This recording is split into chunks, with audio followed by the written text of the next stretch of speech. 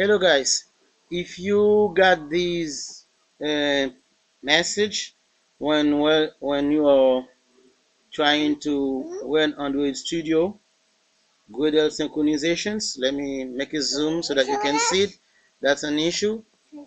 So you got this. Let's say they say the project encoding Windows 125 doesn't match the encoding specified in the good in the Gradle build file okay? So if you got this it's really to fix okay?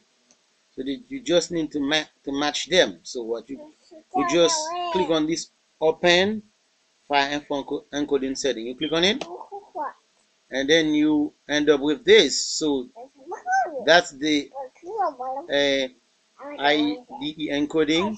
so that's your project. Just click here so they can match okay? And then that's it. You're okay so just click ok. You're done. Okay guys. You're done.